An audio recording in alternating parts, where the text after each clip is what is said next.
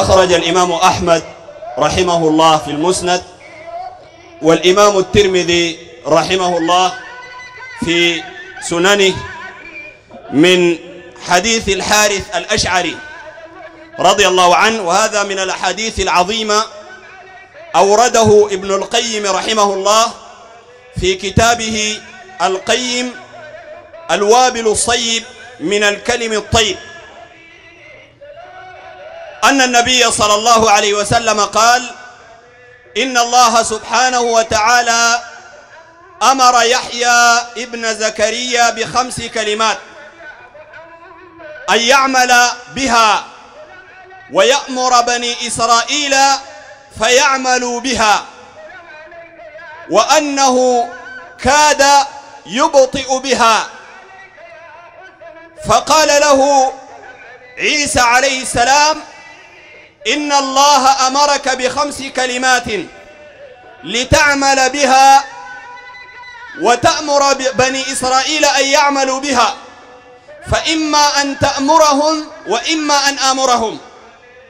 فقال يحيى عليه السلام أخشى إن سبقتني أن يخسف بي وأعذب.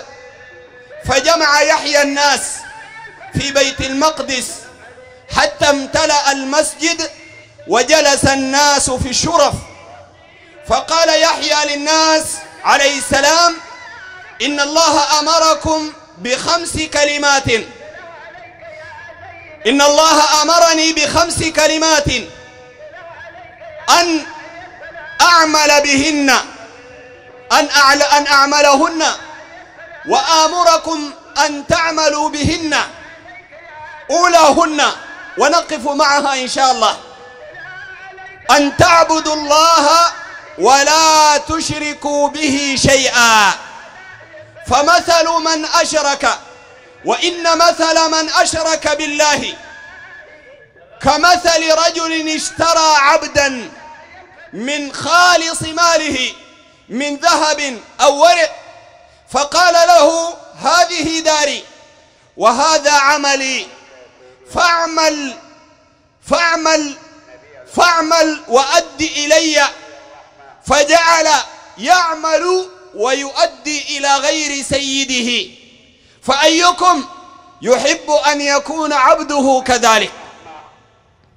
هذا الحديث العظيم من الأحاديث التي يجب أن يحفظها المسلم وأن يتعلمها وأن يعمل بها. أحاديث عظيمة منها هذا الحديث. كما قال ابن القيم رحمه الله. فربنا سبحانه وتعالى أمر نبيه يحيى بن زكريا كما أمر جميع الأنبياء والمرسلين. ربنا سبحانه وتعالى قال ولقد بعثنا في كل أمة رسولا أن اعبدوا الله واجتنبوا الطاغوت فهذا يوافق هذه الآية.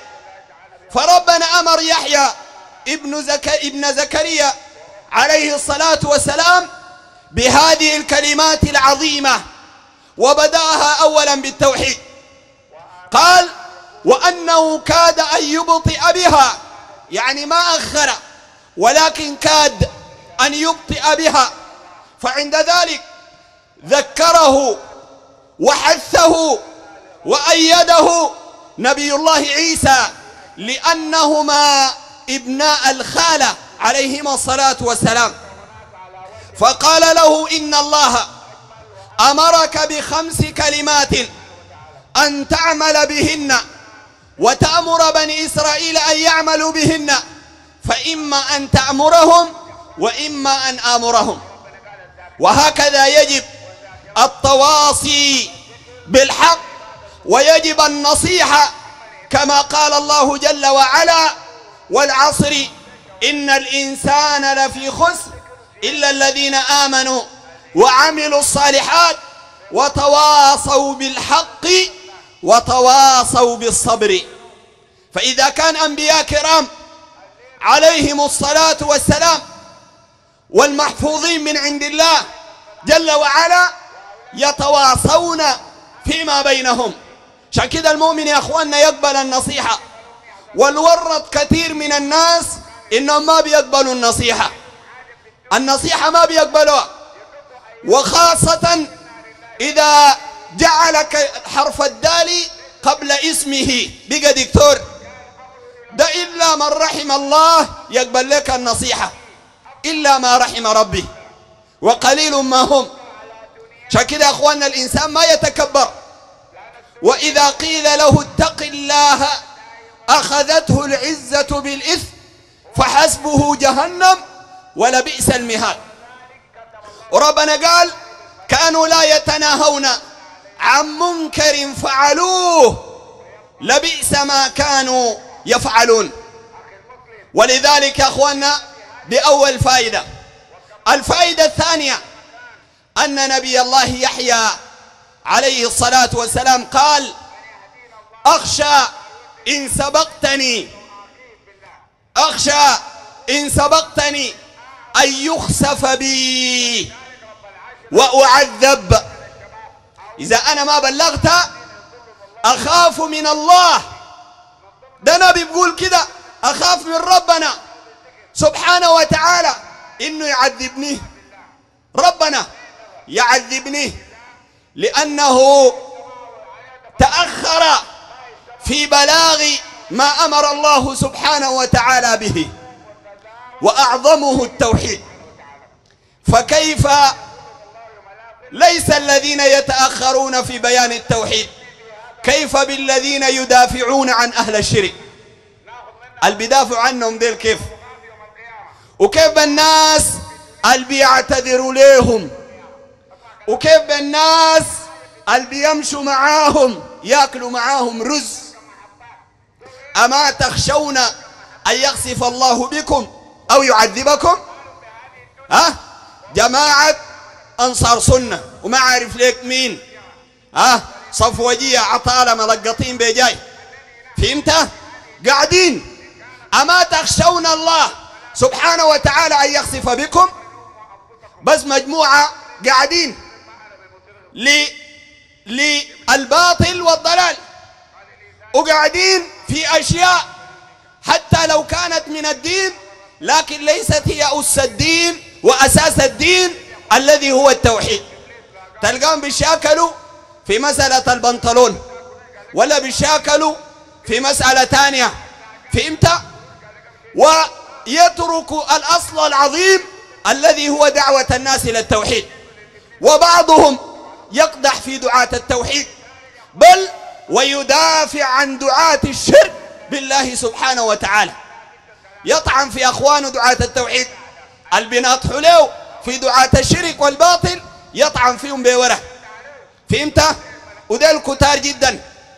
وكمان في واحدين وصلوا مرحلة إنهم يدافعوا عن الشرك. والله واحد إمام جامع ما حنذكر اسمه ولن يهنى بذلك. فهمت؟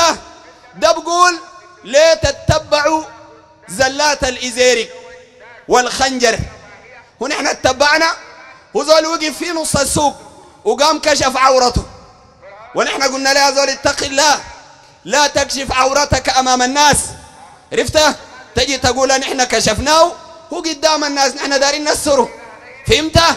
ففي ناس من الذين يتبعون لهذه الجماعات يدافعون عن الإزيري. ولولا أنهم من المغمورين لما لأتينا بأسمائهم ولكنهم لا يستاهلون. وكفى بذلك خزيا وعارا وشنارا عليهم. تدافع عن الإزيرك اللي بيقول إذا السماء انشقت لو قلت الله في السماء طيب إذا ش... إذا السماء انشقت ربنا بتلب ولا شنو؟ يوم القيامة. الكذاب المجرم. ومن قال أن الله يحتاج إلى السماء. قال لك منه من قال ذلك؟ نحن نقول أن الله في السماء أي في العلو وأن الله فوق العرش الذي هو فوق السماوات. بل ما السماوات السبع والأراضين السبع في العرش إلا كحلقة ألقيت في فلات. فكيف نقول وكيف يسيء الكاذب المفتري الذي يريد أن يشوه الحق وأهله أننا نقول أن الله يحتاج إلى السماء أو أن الله داخل السماء. شوف الناس دي المجارمة وكذب وفجر لياتوا درجة. عرفت؟ فده زول ده الناس يمشي يقعدوا مع ديل. ونبي الله يحيى يقول أخشى إن سبقتني أن يخسف بي وأعذب. عرفت؟ عشان كده شيخ الإسلام شيخ الإسلام ابن تيمية رحمه الله يتكلم عن نوع من الصوفية اللي هم صوفية اليوم. اللي بيقولوا انت بتعبد الله لغاية ما انت تبقى الله ذاته. والكلام ده ما قالوا ديل طرنقع ديل كتورجوب البيجاي ده. لا كلام ده قالوا ال ال ال الرؤوس الكبار القدام تعين الصوفية. ناس ابن عربي وابن حلاج وابن سبعين وابن الفارض وأبو يزيد البسطامي وناس أحمد الطيب البشير وناس البرعي وناس القادري وغيرهم من شيوخ الطرق في القديم والحديث. بيقوا يقولوا أنت بتعبد الله لغاية ما تعبد الله. قال وأعبده ويعبدني. كتاب فصوص الحكم. بين قوسين فصوص الكفر. عرفت؟ بتاع ابن عربي. بيبيعوا الآن في الدار السودانية للكتب. قال وأعبده لربنا. تعالى الله عن قول هذا الملحد علوا كبيرا. ويعبدني. قال الله بيعبده. وأحمده.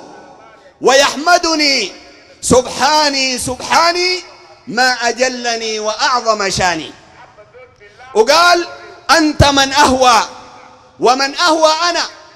يعني أنا الله والله أنا. نعوذ بالله. أنت من أهوى ومن أهوى أنا. نحن روحان حللنا بدنا. فإن أبصرتنا أبصرته. وإن أبصرته أبصرتنا. وهم القائلون. وما الكلب والخنزير إلا إلهنا. وما الله إلا راهب في كنيستي. عرفت؟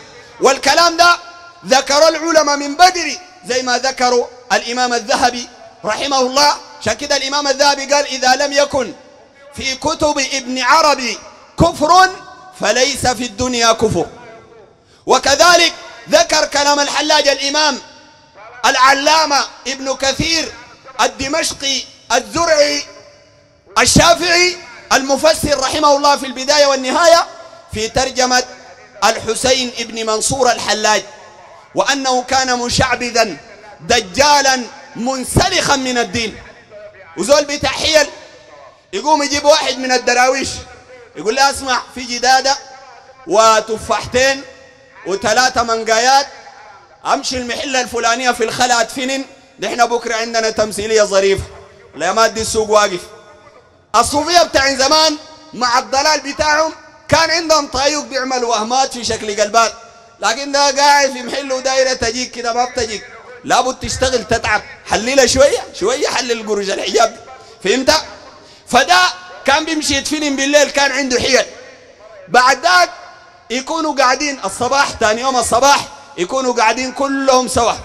واحد من الدراويش ده الدفنة ذاته. الدفنة ذاته. يقول لها شيخ دارين نمرق سياحة. يعني نمشي, نمشي الخلا وكده ونتأمل في آيات الله. طبعا دي كلها التمثيلية بدت من هنا ده الفصل الأول.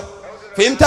بعد ذاك بيمشوا لما يحصلوا الخلا يقول لا والله ابويا الشيخ يا أخي أنا والله جعت عديل ونحن سامعين إنه أنت زول ولي صالح وعلاقتك بالله قوية وكده. فأنا داير لي حاجات لو ما جبتها لي هسي أنا ما بقتنع به. فهمت؟ تجيب لي جدادة آه برص وتجيب لي منقة بلدية. وتجيب لي حاجات ما في وما ممكن يجيبوها لك في المحله دي في الخلا.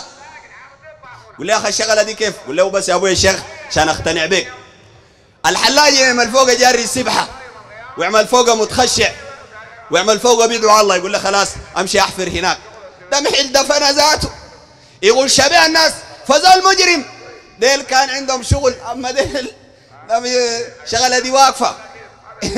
أسي زي ما قال داك قال لا سيدي دار لا صلع شغلة دي ما دار صلع المهم فديل ناس مجرمين وملاحدة وده المنهج الصوفي. الصوفي. قال فجمعهم يحيى عليه السلام في بيت المقدس حتى امتلأ المسجد ويعني وقفوا على الشرف الشرف بتاعت المسجد. ثم قال لبني إسرائيل إن الله أمرني بخمس كلمات. أن آمركم بهن وأن أن أعمل بهن وآمركم أن تعملوا بهن. أولاهن. نقف مع الأولى ولقدام إن شاء الله نفصل في الأخر. قال أولاهن أن تعبدوا الله ولا تشركوا به شيئا. أول حاجة في دعوة الأنبياء كانوا بيعملوا شنو؟ بدوا بالعقيدة والتوحيد. لما جمع الناس نبي الله يحيى عليه السلام ما داير منهم قرش ما داير منهم تعريفة ما داير منهم يصوتوا له ما داير منهم مكانة دنيوية وإنما يريد منهم أن يعبدوا الله سبحانه وتعالى ولا يشركوا به شيئا. ومش يأمر بها بني إسرائيل ربنا سبحانه وتعالى أمر بها هذا النبي الكريم نفسه. النبي ذاته ربنا سبحانه وتعالى أمر هذا النبي الكريم يحيى بن زكريا ربنا قال له أن تعمل بهن. عرفتها إذا كان النبي النبي من الأنبياء ربنا بقول له تعبد الله ولا تشرك بالله. ده النبي. وتعمل بالكلام ده. أن إحنا كيف؟ في زمننا ده. نبي النبي ذاته الأنبياء ديل ما ممكن يقعوا في الشرك. عرفتها فربنا بيأمرهم بذلك. أفلا يؤمر الناس وبقية الناس بالتوحيد؟ قال ومثل وإن مثل من أشرك بالله كمثل رجل اشترى عبدا من خالص ماله. زمان في العبيد والعبيد مش المقصود بها لون معين أو جنس معين زي ما هي نبذة عند السودانيين وده كله باطل. وإنما العبيد زي ما قالوا العلماء هي صفة حكمية. يعني تقع على الإنسان بسبب الأسر في الحرب. إنت أسروك في الحرب وإنت كافر بتبقى شنو؟ تبقى عبد. ولو كنت من قريش لو كنت من قريش ذات وكنت كافر وأسروك عرفتها؟ فتبقى شنو؟ تبقى عبد. قال كمثل رجل اشترى عبدا من خالص ماله. فقال له من ذهب أو ورق؟ دفع فيه قروش. قال هذه داري وهذا عملي فاعمل لي وأدي إلي دي ده بيتي وده شغل حقي. اشتغل وجيب لي الخراج والقروش. قال فجعل يعمل ويؤدي إلى غير سيده. فأيكم يرضى أن يكون عبد عبده مثل هذا أو كما قال. عرفت؟ إنه هسي الليلة ده مثلا ده برسل لنا ناس يجمعوا القروش مثلا أو يبيعوا الحجبات. طيب أنا بعت الحجبات مثلا وشلت القروش وجيت اديتها لأخواننا ديل بترضى والله يجر العكاز يقع في الناس دي من طرف صح ولا ما صح؟ طيب يا أخي أنت مخلوق ما بترضى الكلام ده لنفسك؟ كيف ترضى لرب العالمين؟ عشان كده ربنا قال في سورة الروم شوف الأمثلة دي واضحة وبينة للزول اللي عنده عقل ويتفكر. ربنا سبحانه وتعالى قال ضرب لكم مثلا من أنفسكم من نفسك أنت. هل لكم مما ملكت أيمانكم من شركاء فيما رزقناكم فأنتم فيه سواء تخافونهم كخيفتكم أنفسكم ربنا ضرب لك مثل. أجرت زول اشتغل لك شغلة. في البيت. أو زي المثل بتاع نبي الله يحيى بن زكريا عليه السلام. جبت زول اشتريته بحر مالك يخدم لك. في البيت والمنزل ويؤدي لك. هل أنت بتخاف منه يشاركك في زوجتك؟ بتخاف؟ هل بترضى يشاركك في أموالك؟ ها يقول لك أنا مش شغال لك. المرة بالنص. ولا القروش حقت الحافلة التوريدة بالنص. والأولاد ذاتهم بالنص.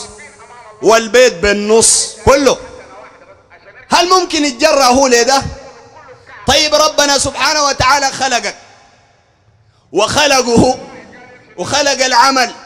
وخلق البيت اللي انت فوقه. وخلق لك النعم اللي انت بتتقلب فيها. بدل ما تشكر الله وتعبد الله تعبد مخلوق. تصرف له والعبادة حقت الله؟ ما ربنا خلقك. قال لك العبادة أصرف لي أنا. تقوم تشيل العبادة تصرفها للمخلوقين. عشان كده أخواننا القرآن قطع الحجج بتاعت المشركين من أصولها. وما ترك لمشرك حجة أن يعبد ويدعو غير الله سبحانه وتعالى. عشان كده أي زول يقرأ القرآن ويتأمل ويتدبر يجد فيه من الحجج العظيمة القوية التي تدحض الشرك وشبه الشرك شبهة الشرك وكلام المشركين وأهل الضلال والباطل. عرفت؟ عشان كده مما تقرأ القرآن للصوفي تلقاه مستحضر طوال. نزلت فينا آيات المشركين. يعني أنزل فيك شنو أنت؟ أنزل فيك إن المتقين في ظلال وعيون ما بنزل, فيك. إنه من يشرك بالله فقد حرم الله عليه الجنة. ليه؟ لأنك بتنادي غير الله سبحانه وتعالى وتعتقد أنه ينفع ويضر إلى غير ذلك. ولذلك آه يجب على الناس أن يتعلموا هذه الأحاديث والآيات. نسأل الله سبحانه وتعالى أن أن يرزقنا نحن أولا العمل به أن نعمل بهن والإخلاص والتوفيق وأن يبصر المسلمين بأمور دينهم وأقدم المتحدث من بعد.